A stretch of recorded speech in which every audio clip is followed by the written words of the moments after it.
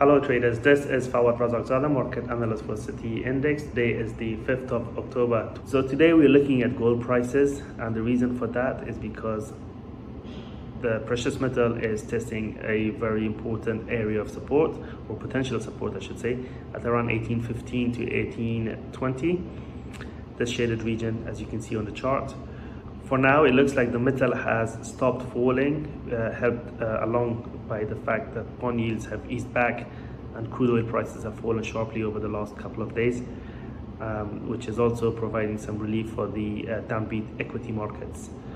Um, so it's, it's far too early to, to suggest that gold will bottom out here, but we're merely looking for a technically oversold rebound for now, uh, given that the RSI has not been this oversold since uh, September of last year when uh, the precious metal formed a major low.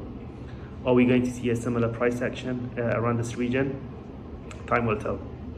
But uh, we will be on the lookout for a potential bullish reversal candle to form on the daily chart of gold uh, with the trigger being the non-farm payrolls report on Friday given that the ADP private payrolls data came in weaker than expected so that could be the trigger behind a potential reversal for gold.